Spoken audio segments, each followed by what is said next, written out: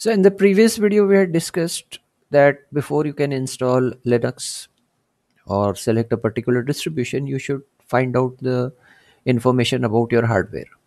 Once you have the information about your hardware, you can decide to select a particular distribution as per your requirement. Now, let's say if you are having a older hardware or something, there are n number of Linux distributions which are still developed today for that they can work on the older hardware also. Few of the cases in are like you have Xubuntu which is based on ubuntu. Then uh, there is a similar one which is Lubuntu again based on ubuntu. These these are designed to work on bit older hardware like you have a 1 gigahertz processor or 2 gb ram or something like that. You can work with these things.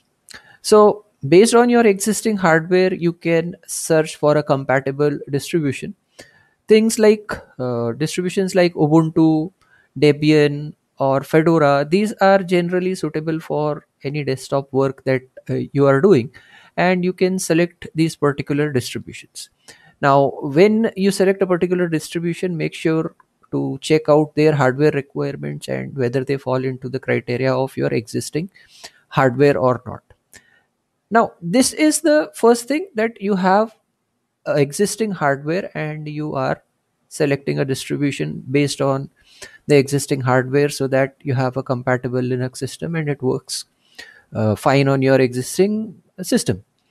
The second criteria could be that uh, you are planning to set up some office or uh, you are planning to buy new hardware for a particular requirement let us say you are going to set up an office or something where you are planning to do some web development work or you plan to do web hosting based things and other things.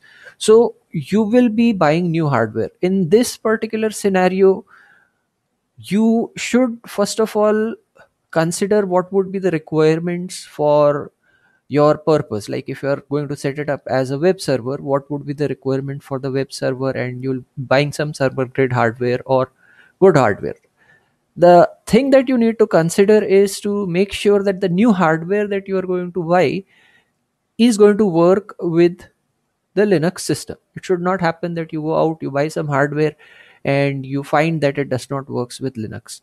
So before you go ahead and get some hardware make sure that uh, it is going to be compatible with your system. Do some research on the net and try to find out. Like uh, you can go to simply go to wikipedia and have a look at different linux distributions that are there. Fine. Uh, on wikipedia. Or even a generic search would tell you many details about the different kind of linux distributions. So like you could go in for red hat based distributions or debian based distributions and which are suitable for your purpose. Now you can select your distribution and then go ahead and buy suitable hardware and set up the hardware and get your work done. Apart from these criteria there is a third criteria that uh, you need to keep in mind is that uh, the linux distribution that you are selecting for your work does it provides a lts support? So what exactly is a lts support? Lts stands for long term support. So this is a concept commonly available in software releases that when a particular version of the software is released like here i'm showing you the download page for ubuntu and here there is a ubuntu 24.04.1 lts release. So lts primarily stands for long term support. So here what uh, uh, ubuntu is saying here that this version is going to be supported for uh, five years. There will be a free security and maintenance update support available extended up to 12 years with pro subscription and all.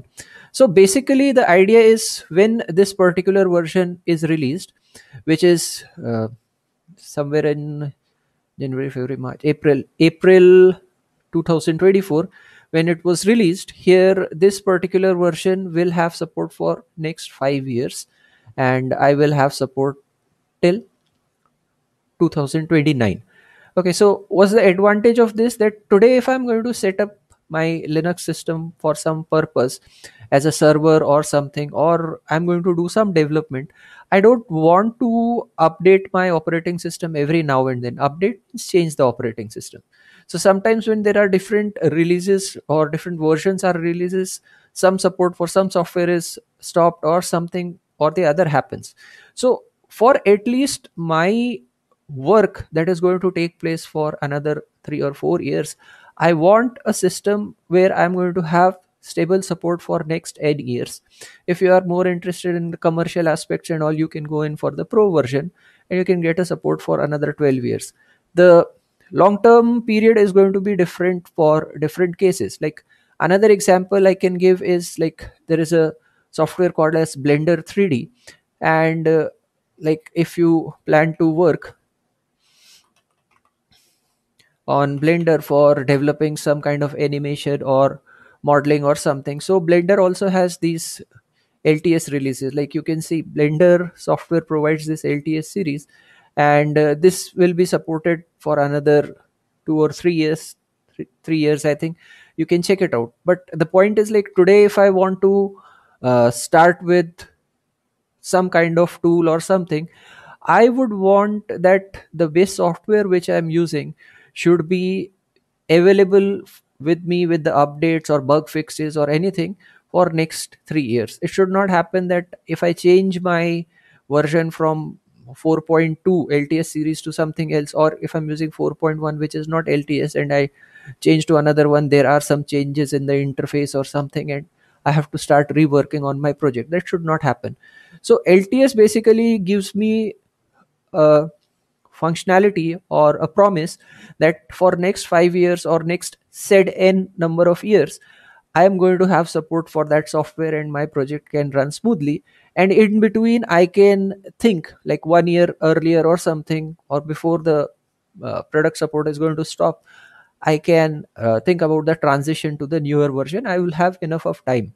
So suddenly it won't happen that the support for that software is stopped so uh, the third aspect very important aspect is selecting the lts version of your uh, linux system which can be really helpful in actual work life or even day to day life. You don't want to change your desktop or linux version every now and then then you can go in for lts based support. Fine. So uh, those are the two three different criterias when you are looking for a particular linux distribution that uh, should you go in for the latest versions or should you go in for the lts releases? So that's the basic idea about the criterias for choosing a correct linux distribution